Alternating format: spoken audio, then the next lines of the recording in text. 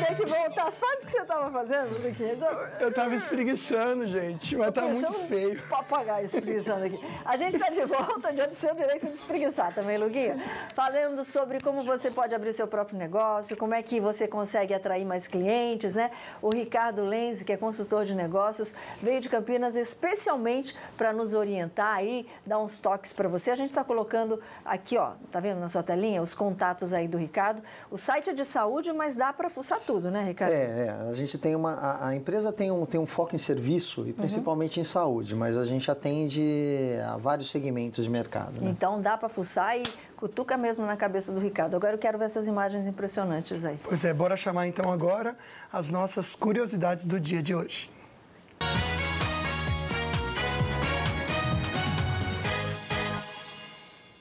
Eu, quando vi, fiquei assustado, é viu, Solange?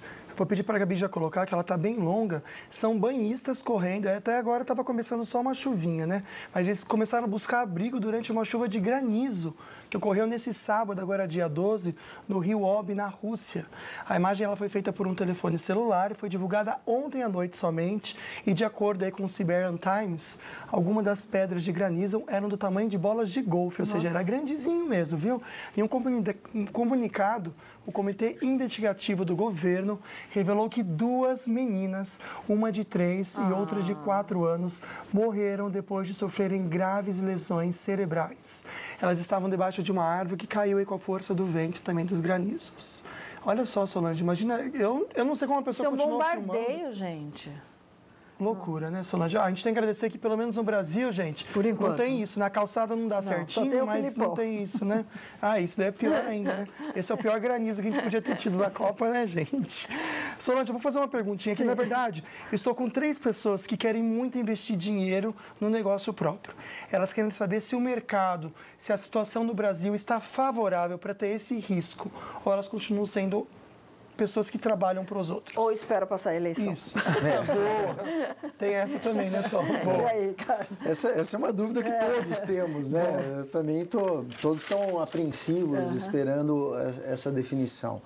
Eu acho que as pessoas que são empreendedoras, que têm um espírito empreendedor, ela, ela já assume esse risco naturalmente. Ela, eu, eu, eu acho que o risco tem que ser calculado. Uhum. Num, num, nunca aconselho ninguém a colocar o dinheiro da vida num negócio. Você tem que ter um, uma, um planejamento para isso, mas eu acredito que dependendo do segmento que ela vai é, empreender, uhum. ela, ela pode ter bons resultados. Por isso que é importante fazer uma análise. Né? Qual é o negócio que você está pensando, que tipo de. de, de como uhum. que está o mercado onde você vai abrir esse negócio? Existe uma população é, economicamente ativa que vai comprar esse produto ou serviço de você. Então, isso eu acho que são análises que têm que ser feitas. Okay. É, muitas vezes as pessoas empreendem também e, e elas, já, elas saem do emprego e, e põem um dinheiro Aí e empreende. né? Daí ela, ela quer que esse negócio dê um resultado financeiro para uhum. ela rapidamente.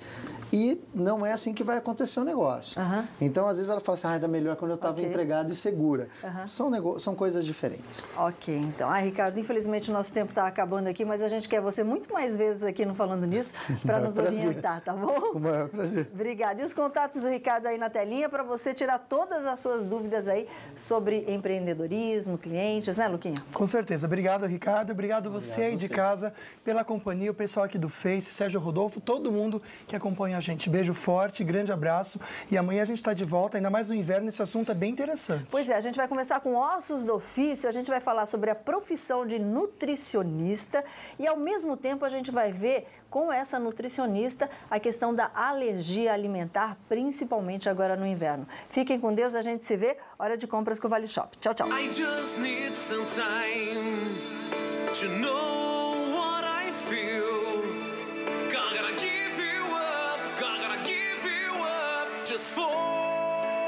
Today, just for this day.